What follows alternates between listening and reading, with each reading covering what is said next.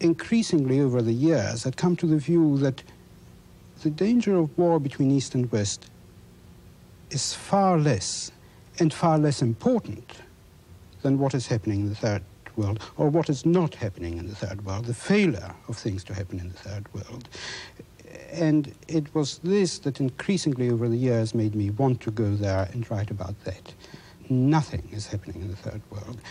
Uh, now that I've been there and seen it, there is so much that needs to happen. There is the misery, the poverty, the despair, all that.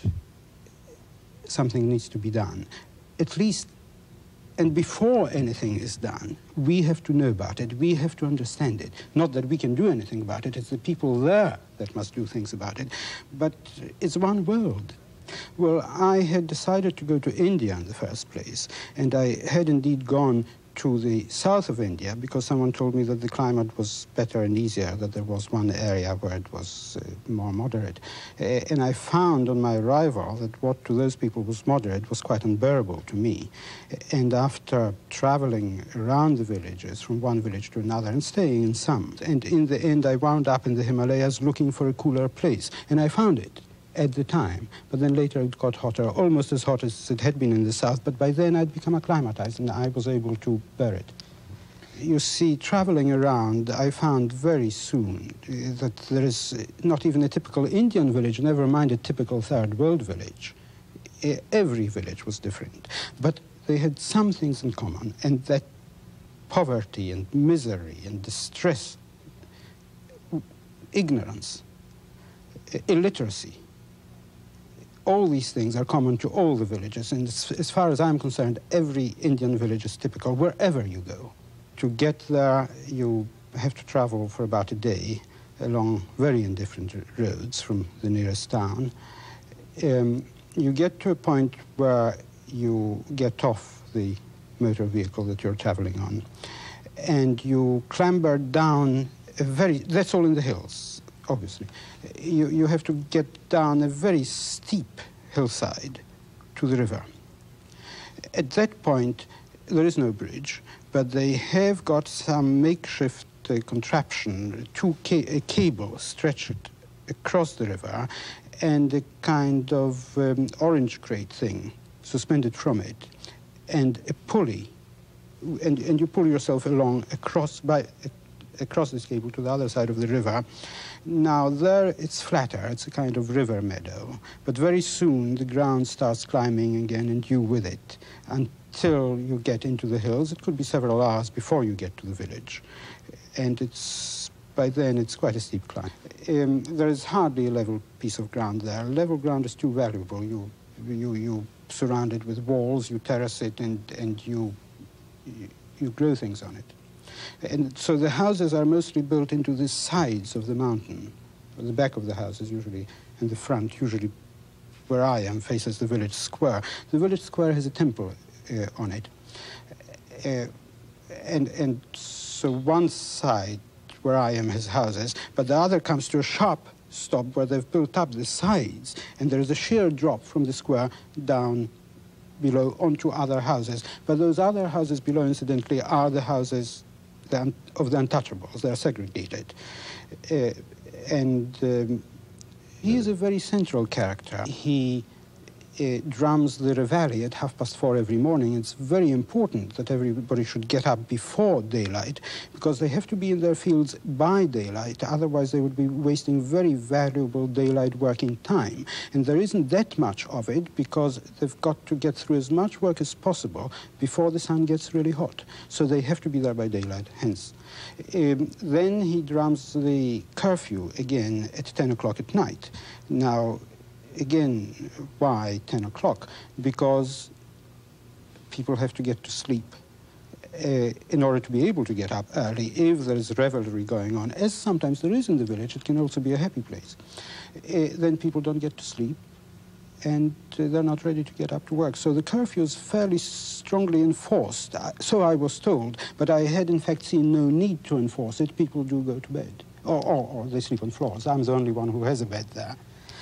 Um, now, he also drums several times in the course of the day in front of, of the temple for the temple services. He has a hut very near the temple. It's a platform, really, with a roof. He's the only man in the village who hasn't got walls in his uh, house. He has no private life. And he's got a family, two sons, and they've got a wife. He is also the village barber, and he is obliged to give anyone a shave who comes to him in exchange for a, um, a pancake kind of thing uh, baked out of very coarse grain. Yes, you see, I don't want to give the impression that nothing is being done for these people. The government in India tries very hard. I don't know that it achieves much in those sorts of circumstances. But for instance, he was given government land. He was landless. Uh, he is in fact owned by the village. He was bought by our village from a village further back in the hills. Bought for, I suppose, the equivalent of about uh, two or three hundred dollars. 20 years ago. What so, would be two or three hundred dollars now? Right. In order to make it possible for this person who'd been bought and therefore was virtually in a position, in a relationship of slavery to the rest of the village, to, to have some kind of life. Uh, but, uh, and he worked that land, those two sons of his, and he built a terrace around it, they really worked very hard for several years to, to bring it into the kind of state where it would yield something. And almost as soon as it did start growing things, the farmer, a rich farmer, came and said, you get out, that's nothing, that's not yours. The, the drummer had the, the government deed that showed his ownership, but the farmer said, that's nothing to do with me. I bought that land from the previous owner, get out. And, and he beat him up, and, and, and he got out. And, and you know, I told him, why don't you go to court? I mean, this, this is a simple case, you've got proof. And he said, to court, that means three days to get to town, to stay in town, to bribe the clerk, to get the documentation. You see, that proof is not itself sufficient. There are all sorts of other documents that would need to be got. They wanted him to do the drumming, they wanted him to do the shaving. Another of his jobs is to escort the village wives when they go back home. Usually the wives in our village come from other villages, and they do that in order to prevent too much inbreeding, because the village is like one big family, or at least each caste is. There's no intermarriage between the castes. So the wives usually come from other villages. They very often go home for festivals, holidays, family visits. And then it's the duty of the drummer or his sons, if the husband or a member of the family is not available, to escort the wife.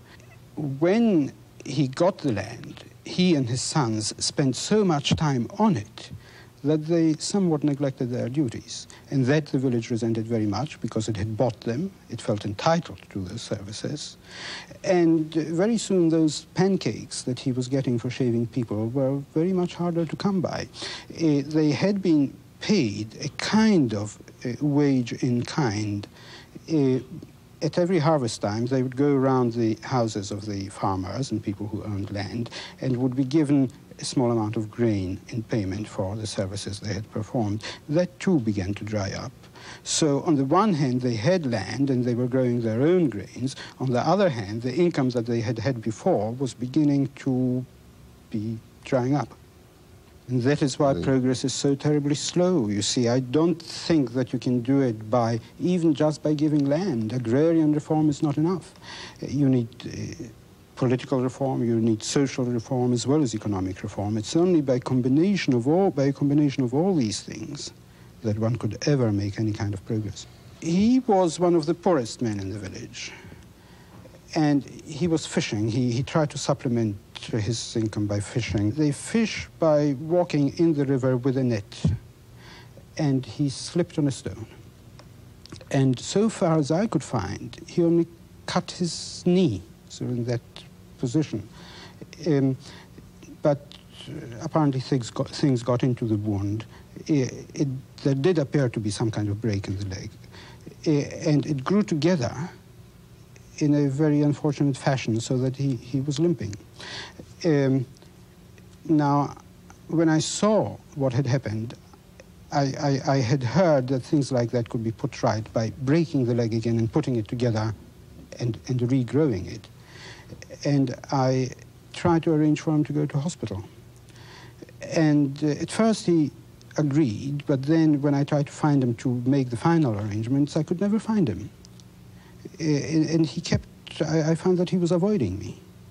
And finally, I ran him down to earth in, in, when he was working in his fields, um, in his one field. And uh, I found that he just didn't want to go. Um, he said, How can I go? What, what will I do with my wife and children?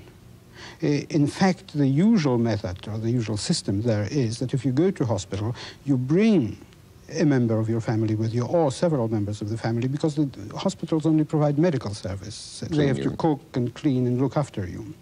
And he said, well, how can I bring all these people? Where will I get the money? And he didn't want to go.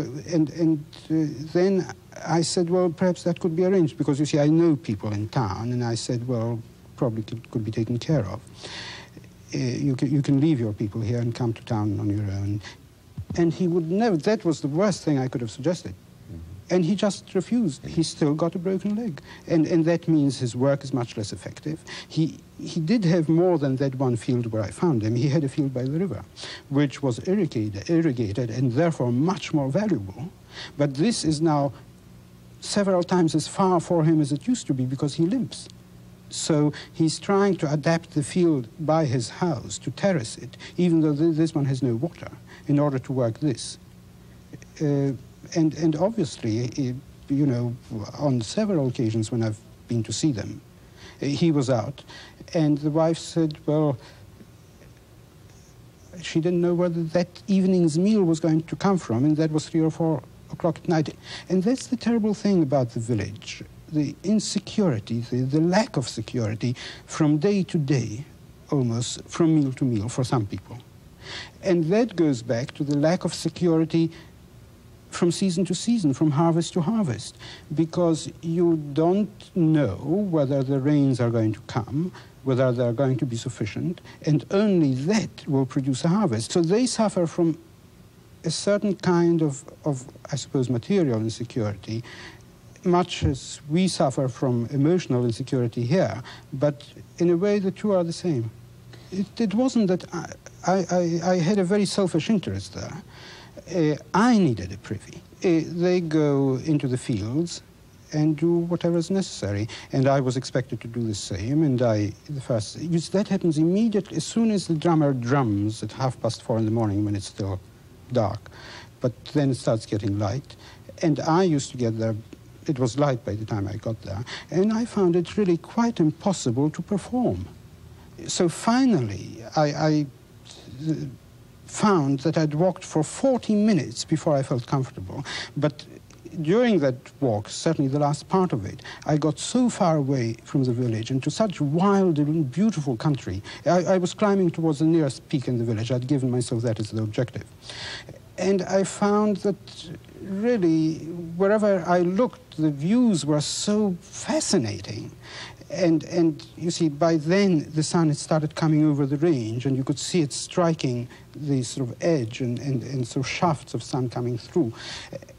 By the time I got to, to, to my peak, I, I was so happy, I'd almost forgotten why I got there. So finally, that was the place that I chose. The fact is that uh, I had suffered myself a lot from stomach illness, certainly in the south, a little less so in the north, in the, in, in the Himalayas.